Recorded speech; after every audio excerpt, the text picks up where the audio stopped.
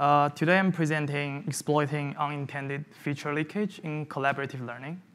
And this is a joint work with Luca, Emiliano, and Vitaly, and we are from UCL, Cornell, and Cornell Tech. So here's an overview of my talk. So we consider the scenario of collaborative learning, where multiple clients wish to train a machine learning model together, and uh, one of the participants or the server could be malicious. And we demonstrate that collaborative learning provides a new attack surface. So throughout training, adversaries can learn information about other participants' data from the model updates. And moreover, the leaked information is not correlated with the learning task. So if the model is trained to predict gender given a face image, adversary can learn information such as user IDs. So um, for the purpose of this talk, I'm going to just uh, introduce some background in deep learning very brief briefly.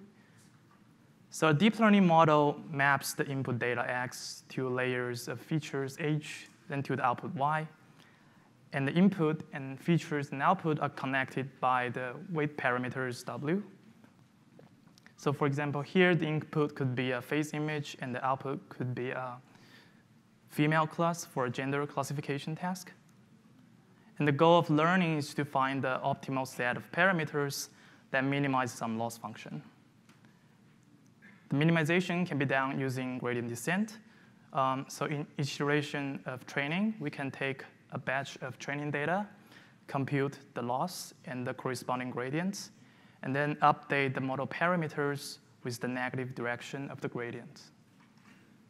So one of our key observations is the gradients can reveal information about input data, which also enables our inference attacks in collaborative learning setting.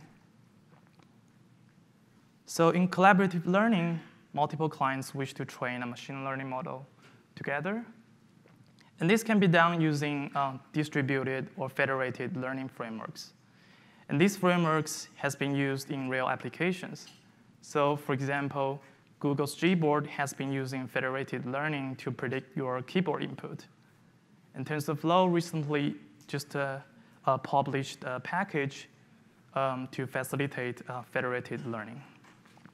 So in this framework, um, clients trains the model with a central server, such as Google. And each client can keep their data locally on their own devices. So in other words, the data are never shared to uh, the server, and it's also not shared between the participants. So in each, each iteration of collaborative learning, each client first download the global model from the central server and each client can compute the training locally, which is by taking a batch or batches of training data and computes their gradient updates. And then each client can send these gradient updates back to the server. So the server is going to aggregate these updates and produce a new version of the global model.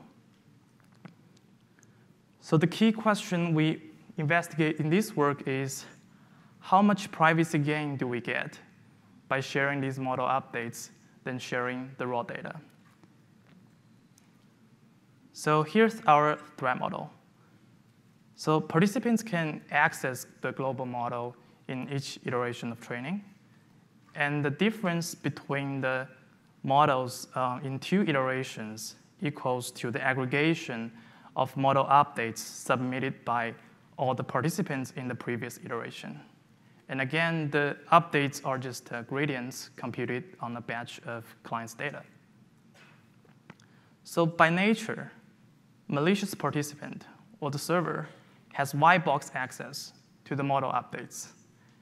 And this is because they joins the training and can observe the change in the global model.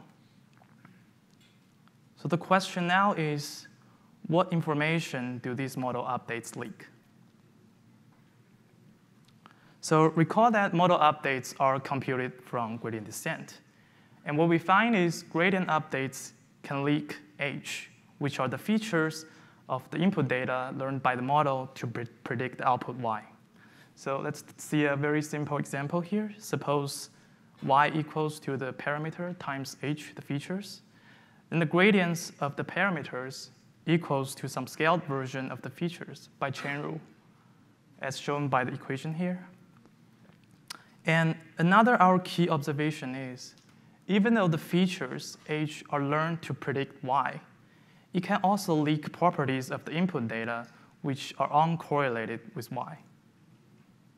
So for example, if y are gender classes for a facial, uh, for a gender classification task, then features can also leak properties like facial IDs. So now we know model updates can leak information about input data. Then how do we infer these properties from the model, from the observed model updates by adversary? So this is essentially a learning problem. And if we assume adversary has data labeled with the property then we can use supervised learning to perform the inference. So inferring properties from observation is essentially a learning problem. And now I'm going to show how to use machine learning to perform inference, uh, inferring the properties. So this is what we call property inference attacks. So in each iteration, adversary can download the model from the server, and then adversary can query the model with the data that are labeled with the properties and compute the corresponding gradient updates. So these gradient updates can now be labeled with the corresponding properties. So adversary has a set of labeled updates. You can use that to train a property classifier, which takes a model updates as input and outputs a prediction for the properties. So once the property classifier is trained, adversary can query the property classifier with the observed model updates to perform inference, uh, inferring properties for other participants' data.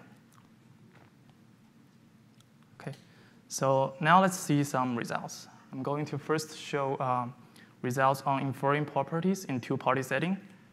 And we use labeled face in the wild data set, and the participant, in this case, trains on facial images with um, certain facial attributes. So here in the table, we show the target label that the model is trying to learn, and the property that adversary wish to infer, and the correlation between the task label and the property, as well as the attack AUC score in the final column. So as you can see, the AUC scores are very high, and some of them are near perfect for some of the properties. And more importantly, the correlation between the task label and the property are very small. So this demonstrates that the model updates really leaked um, uncorrelated information about the input data. So next, I'm going to show how to infer time, the time when certain property occurs during training. And we used FaceScrub dataset for this case. And the target here is to predict gender given a face image. And the property here are the facial IDs. And the participant trains on facial IDs, uh, facial faces of different people in different iterations of training. So here we show the probability of predicting different facial IDs in each iteration of training. So different colors corresponds to different facial IDs. And just by looking at this plot, just by uh, see the change in the colors, adversary can infer the time when, the, uh, when a certain person appeared and disappeared in training. So for example, in iteration 500, um, you can see the orange curve drops and the green curves goes up, and that corresponds to the time when ID1 disappeared and ID2 appeared in training. So next, I'm going to show an active version of our attack that can work even better. So in active attack, adversary can create a model locally using multitask learning. So this model is going to predict both the task label and the property. And the updates computed from this model is going to contain information that can actively influence the global model to leak the properties. So here I show the ROC curve of predicting facial IDs in FaceScrub dataset. And the alpha value here is the strength of our attack, uh, active attack. If it's zero, then there is no active attack. So as you can see, for larger alpha values, we indeed get better AUC scores. And these demonstrate that adversary can actively bias the global model to leak properties by sending crafted updates using multitask learning. So now I'm going to show uh, experiments in multi-party setting. So in this setting, adversary only observe aggregated updates from all the participants. And here we use Yelp review datasets. Uh, and the task here is to predict the review score given the input text. The property here are the authorships of the reviews. So here in the plot, uh, we show the AUC scores for predict predicting different authors um, with different number of participants. So as you can see, the performance can drop as the number of participants increases. However, we still observe for some properties that adversary can still achieve very accurate inference. And this is potentially because these properties are so unique that their effect are not canceled out during aggregation. And for the case of Yelp, it is because there are some unique word combinations used by some users, and that really helped adversary to infer their authorships. So finally, I'm going to show a visualization uh, of the leakage in the model's feature space. So here uh, I showed three plots corresponds to um, the pro projection of features learned by the model in three different layers. So each, each point here corresponds to a data point. And the main task here is to predict genders, uh, which is denoted by circles and triangles. And the property here is to infer black or not black. This is shown by um, blue and red points. So as you can see, the separation between blue and red are visually very obvious in the first two layers of the model. So this really means the model learned features for uh, inferring the properties in the first two layers. And the separation between triangles and circles also appeared in the final layer. So the model also learned to predict genders, which is the main task in the final layers. So here are the takeaways. Um, we have shown model can unintentionally learn all kinds of features. The features that are helpful to infer the properties that are uncorrelated with its learning task. On the other hand, collaborative training can reveal white box uh, model updates to its participants and its server.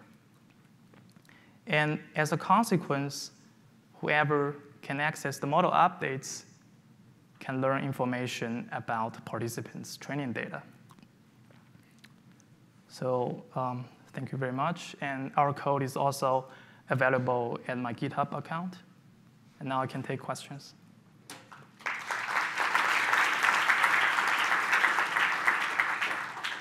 So, questions? Please. Hi, thank you for the talk. This is Roxana Geambasu from Columbia. Um, there is work on differentially private collaborative training. Uh, do your attacks apply to that? Uh, we, we mentioned, do you mean the, the one applied to language models? Yes, we mentioned that work uh, in our, as one of our countermeasures. And uh, so their, their work basically um, needs like millions of uh, participants to ensure the model is converging. And uh, in our case, our the number of participants is much smaller in, than their case, so their method doesn't converge in, in our case. So the model doesn't perform well on its main task. Yeah. Okay, another question? So at least, yeah, before I ask one. So maybe quickly I ask. So can you say, is there a relation to overfitting and generalization in the whole thing? Because it seems Um, that the updates carry a lot of overfitting things. Yeah, that, that could be one of the reasons. It, it's more like they, they didn't overfit in the sense that the model can still perform well on, on the test data. It's still generalized to the test Okay. data, but it still learns features that, that can help for, for inferring other properties Okay. along the way. Yeah. Okay, so last question. Hi, Luke Desitels from Samsung Research America. Um, this is just a, a vague thought, but it might inspire some other uh, research. Um, a friend of mine works in AI fairness and making sure that the training is not uh, biased in some way. So the last example that you showed where they were training for gender, but they seem to maybe have certain distributions based on race. Um, I, I'm just curious if uh, some of these abilities to detect these indirect properties that are sort of accidentally influencing things or, or leaked features uh, might allow the central part of the federated government or federated learning to sort of say like, hey, your inputs don't seem to be very fairly distributed. Uh, maybe you have too much of one property that we really don't want, or you're maybe training with the same input as this other guy. Uh, we can try to undo some. I I guess maybe there are legitimate use cases to being able to infer some of the information about the input. Yeah, yeah, that, that could be very interesting uh, approach to Okay, so let's thank the speaker again.